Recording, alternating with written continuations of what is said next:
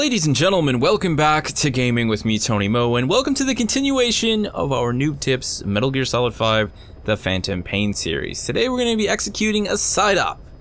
And unlike many who will tell you that there's a best way to do something, I strongly am against that. There are a variety of ways to execute all of the missions and side ops in Metal Gear Solid 5. It's a game that very much is encouraged, very much encourages player choice and diversity in player playstyle. So that's what we're going to focus on throughout the course of the playthrough. I'm going to go show you guys some actual tips, some tips and tricks that I use to help execute a mission a little bit more efficiently and also to have a little bit more fun along the way because I feel that Metal Gear is a tactical experience. It's now an open world tactical experience and to get the most out of it, using tactics is often key.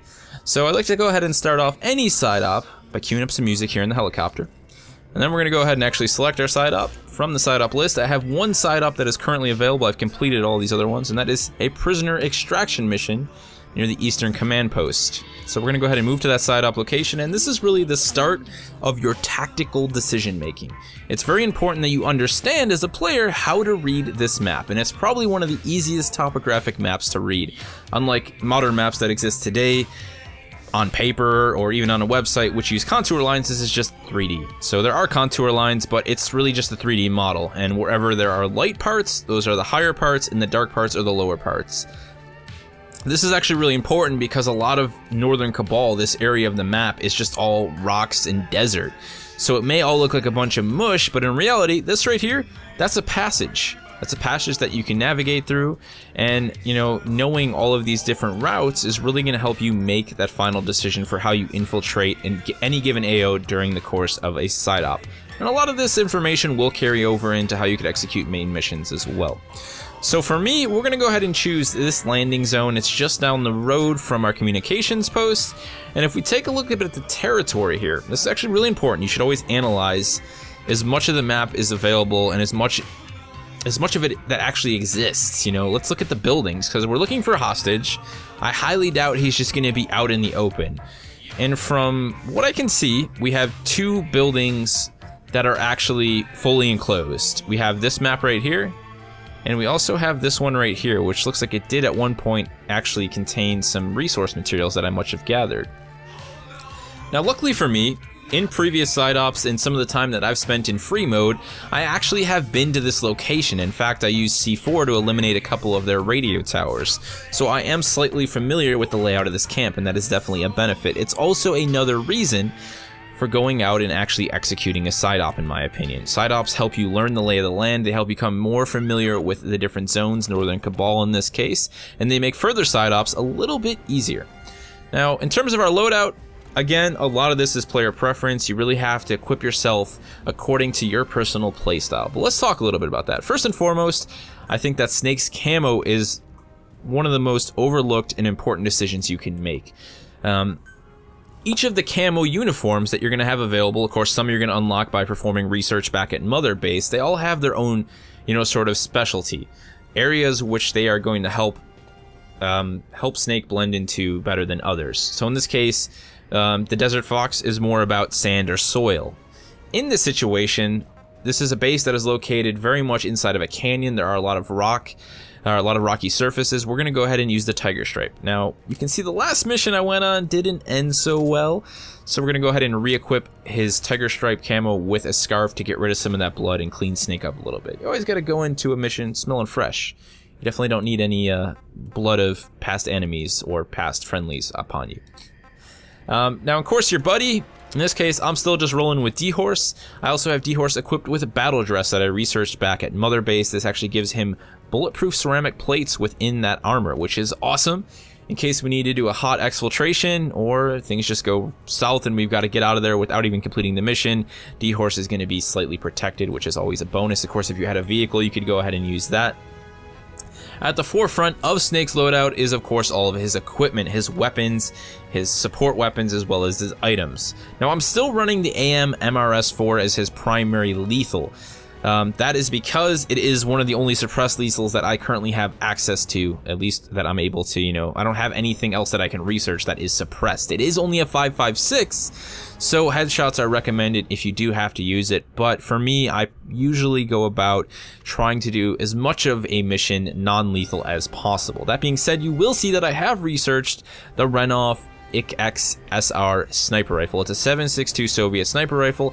It does not have the best zoom, it's only 4x. It has a lot of bullet drop off, but for a lot of the missions where you're looking to eliminate a single target, and you want to do it lethally, that is definitely the way to go. It's also a great way to kind of get into long range engagements and understand just how effective different weapon systems um, with or without suppressors and different types of ammunition are going to be um, when engaging at distance. Secondary weapons, we've got our tranquilizer pistol and our bionic arm.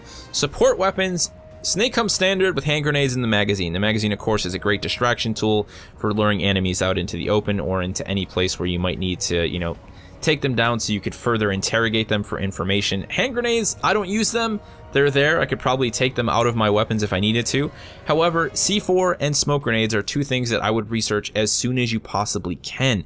C4 is great for a lot of the missions that require you to take down, for example, like we did previously at this exact same location, a couple of those radio towers. You can go in stealth or loud, however you choose, plant the C4, and get out before detonating. Smoke grenades are just a nice tool for a little bit of escape tactics. Maybe things go awry. You're pinned down in a small room with enemies outside, pop a smoke, exfiltrate with your target, and uh, make it to safety. In terms of items, you've got your night vision and phantom cigar as standard. I also have researched the box, which everyone has researched. It's one of the first things Ocelot makes you research. I haven't really used it. I imagine there's some place for that box to be a really effective stealth tool, but I haven't discovered it yet, and when I do, we'll be sure to make a video on it. So let's go ahead and roll out. Now, of course, you can set your drop time. You can do ASAP, 0600 or 1800. Honestly, early game as a new player, I strongly recommend, I advise you just do ASAP for all of your side ops early on. The great thing about doing it just, you know, on the whim is that you don't really know what sort of situation you're going to go into. You don't know the environmental conditions until you're there. And that's great for learning how to adapt. You might have to go in at night, you might have to go in at daytime, maybe a sandstorm's going to spawn. Avoid using the phantom cigar, I would say early on, and just play it as it lies. I think that's a great way to learn a lot about the game and a lot about how to perform certain tasks within different environmental conditions. Plus, it's a lot of fun. I love randomness. Why set the time of day when I can just go in at dusk and, you know, finish the mission as it's getting dark? So we're going to roll in with the helo, land just where we were talking about. As soon as we go down, we're going to pop open our iDroid and we're going to set a bunch of map markers. Map markers are another great tool that I like to use for more than just, you know, setting a heading. Be down in a moment here. Coming up to D-Horse.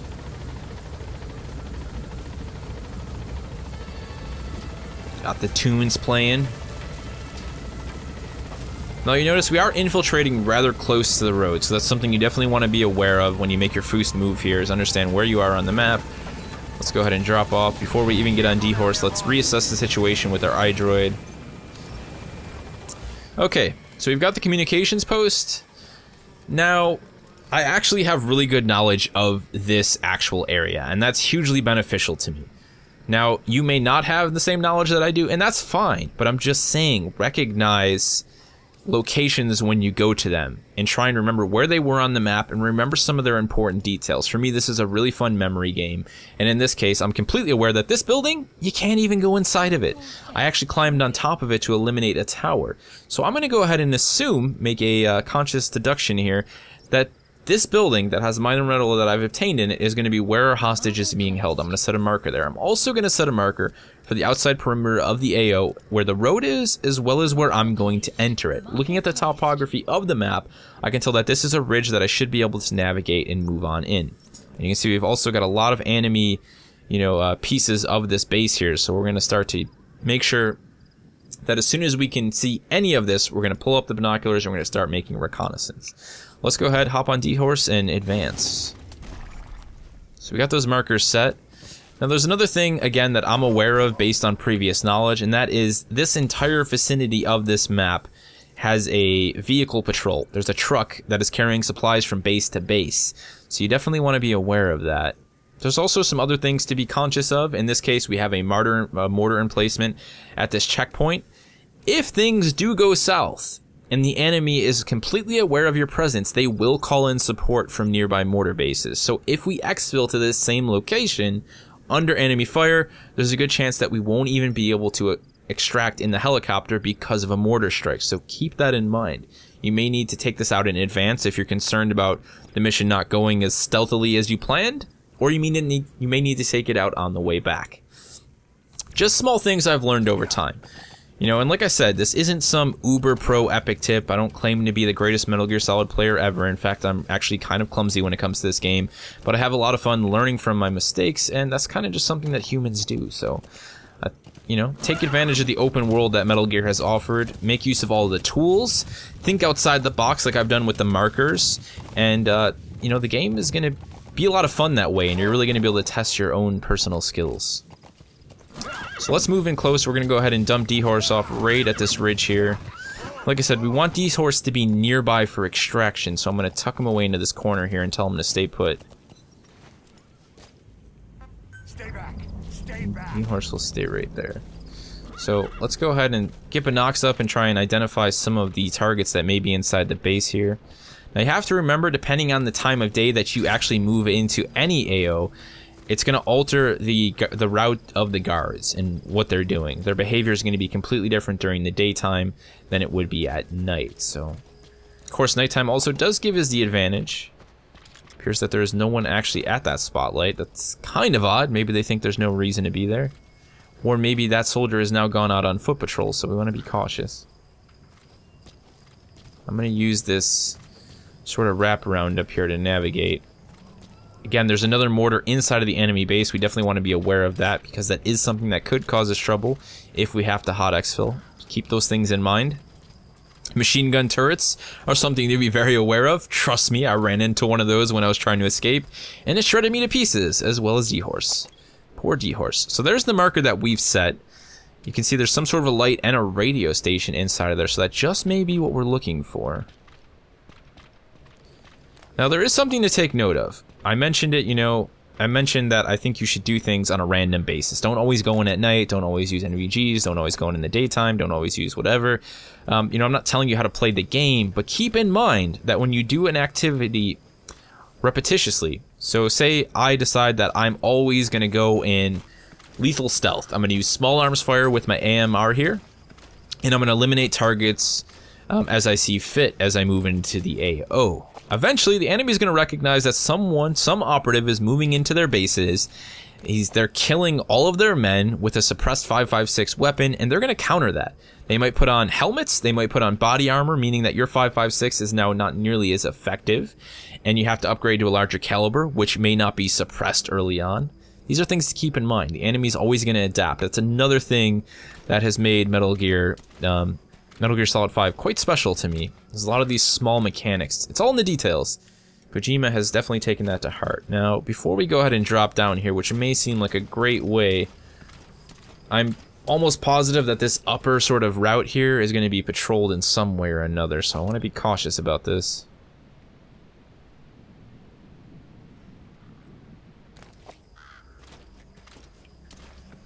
Let's go ahead and drop down. Let's get into a crawl almost immediately, make sure that we're staying as low as we can. It's a pretty heavily lit area. We also have another little guard post up there, so we definitely want to avoid that area of the map. I'm going to climb off the side here and get down and dirty, and hopefully we can just crawl our way right into this base before being identified. They seem to be having some sort of a meeting, so maybe we just came at the perfect time. It's it's Team Crumpets here at the Soviet camp, or should I say, um, tack and vodka, probably, considering the Russians. Well then, I imagine that this guy there with the shield is a prime example of what I was talking about. Um, they definitely become aware of some of my strategies, and it looks like the shield is there to counter those strategies, so this is going to be interesting. I'm not sure how we're going to go ahead and handle this situation. But let's go ahead and get ourselves hidden in the grass here in case this guy comes around. Now, if we can get him to turn around without disturbing also everyone else in the AO here, we might be able to take him out.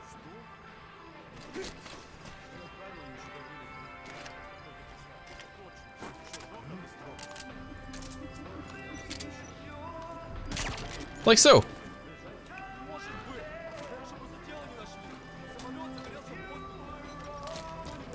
Okay, so this is bad. We actually have a patrol coming in. I don't know if you guys can hear that, but that is that truck that I mentioned that I knew was in the AO. That's that's them. So we're gonna get out of here quick.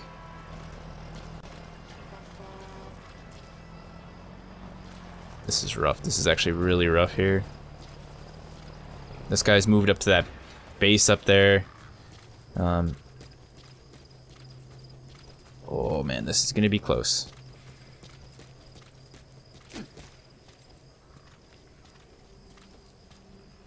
It does appear this guy has also got an on um, that light switch, which is no bueno. Let's see if we can't get this guy to look another direction.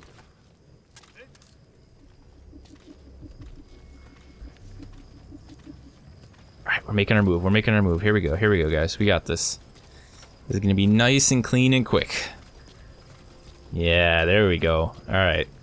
Now, I'm going to breathe a sigh of relief because that actually went exceptionally well. Again, a lot of that was down to previous knowledge of the area, which is why these side ops are so much fun. Like I said, they really help you build knowledge of what the enemy is doing. Now, that is going to change over time, so don't think that it's going to be so easy peasy the next time you go. And you saw they already tried to counter me once, and I'm actually fairly early into the game, so I can't imagine how much more difficult things are going to get um, once you really start to mess with these guys. But let's go ahead and load up our passenger. We're going to go ahead and set a waypoint for our exfil. We're going to go ahead and maintain knowledge of this road. I definitely want to keep, you know... Okay, I guess they're going to do that way. I thought we would just take him back to the base with us, but it looks like that's what they've decided to do. that works though. Let's just go ahead and exfil now. Now, of course, you could actually stay in free roam. That is the great thing about side ops is you can just go from side op to side op. But I'd like to actually head back to mother base and do a little bit of research and development. Um, I actually have a couple highly skilled soldiers that I recently obtained from some other side ops. So I'm to want to head in, make sure that they're assigned to their proper roles, and see if we can't gain some more cool gear to go out and complete some more side ops. Now, like I said, guys, side ops I think are a great thing to focus on early game. Um, they give you a nice, clear objective. They're a great way to study the layout of the land, to understand how to read the map, and to just, you know, really become more efficient at the different mechanics that the game offers. But like I said, keep in mind that things are always going to change and the enemy is always going to adapt to whatever you do. It is going to become more challenging. Um, but that, that's really it from me. I hope you guys learned some stuff in this video, some of the mechanics that I like to use, some of the in-game metas that I like to use to make myself a little bit more aware. Again, really, those markers, they are hugely useful. Map knowledge, again, is very important, your awareness level. As you saw, that truck that I mentioned that I knew was on patrol here, it managed to show up just in the nick of time, and luckily, the base wasn't a little bit more lively. Had that been during the daytime, there's a good chance they would have stopped. It would have caused a lot of the guards to move out of their standard patrol scheme. They could have came down to that building, and things could have came a little bit more difficult. We did have the guys at night. I have to say that missions seem to be more often than not a little bit easier at night, but do remember that eventually the enemy will adapt to that.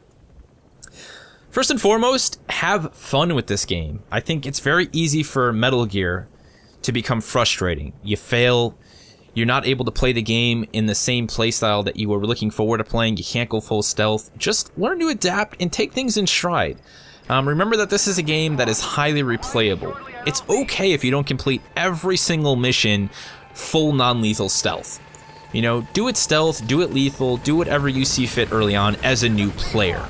Um, again, not telling you how to play, just saying ways that you can avoid frustration and you can then, you know, spend more time learning the game, developing your skill as a player and adapting rather than just being really irritated. So me and D-Horse, we're going to bounce out back to Mother Base, do some research, hopefully get some more cool gear. If you guys have any questions for me regarding what I talked about in this video, the nature of side ops, anything like that, anything personally for me regarding Metal Gear, leave it down in the comment section below. And of course, those of you out there who are maybe more skilled or perhaps newer players learning just like everyone else is looking to do, feel free to share any tips and tricks that you've discovered along the way. Let's make sure that we have a wealth of knowledge down in the comment section below. Make sure that this Noob Tip series is the best possible series that it can be from a video perspective as well as from a discussion perspective. Get out there, get geared up, grab D-Horse, and complete a side op.